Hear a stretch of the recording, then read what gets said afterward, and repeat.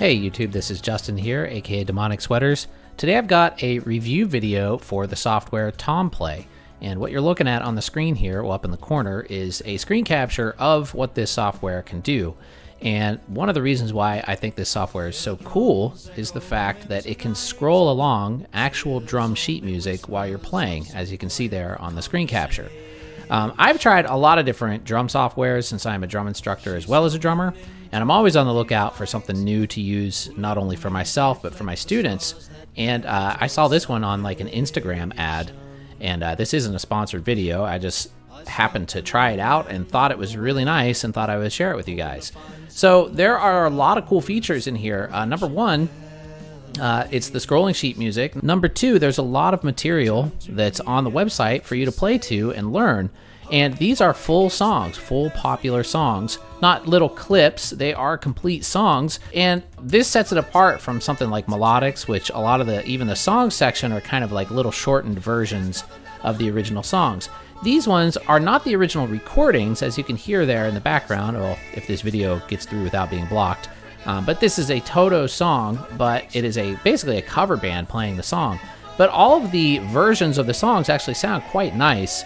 Now, some other cool things that this app can do is it can actually record your performance, uh, and basically you can just record directly into the web browser uh, while you're playing along to the track. Now, it doesn't record the backing track with it; it only records your drums. So, you know, if you wanted to do the backing track along with it, like I did in this video, you can use another software. I used OBS to do that, but it is still useful if you just want to hear your drum performance.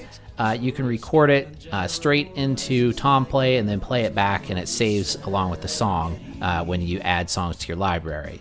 Some other cool features that it has are this visualizer that shows you which drums you're supposed to be hitting while you're playing. Though I did notice the timing is a little bit off on that uh, with the rest of the music. Uh, maybe that's my computer, but you know they're lighting up, but they don't quite light up in perfect time uh, with what you're supposed to be playing. But still, it gives you an idea of what you're supposed to hit. So it pretty much does the job. My only real criticism is that some of the lessons are a bit disorganized where you'll have some versions that say beginner and on that same song you'll see another version that just says easy and then one that'll say intermediate so i'm not quite sure what the difference between easy and beginner are um, you know i would think that a better naming convention would be beginner intermediate expert you know those three or something like that some of the ones that are labeled as easy don't really seem to be any easier than the intermediate versions. They're just a little bit different. So I think some of the classifications of some of the lessons are a little weird, but as an instructor, I know how that can be. Uh, you have a lot of songs that you have to classify as beginner, medium, or expert. What's also very nice is you can actually print scores directly from the app. This is really cool. They print out looking really good, and uh, this is just perfect. You have a printed version a version that scrolls on the screen, you have the music, basically everything you need. It's really nice. Overall, though, this thing is a lot of fun to use.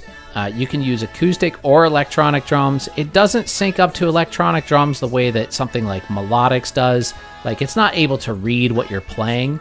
Um, but to me, I think that doesn't really matter a whole lot because then it makes it just easier. You don't have to worry about hooking anything up. You're just going to play along and uh, if you record yourself, then you could gauge how well you were doing on the playback.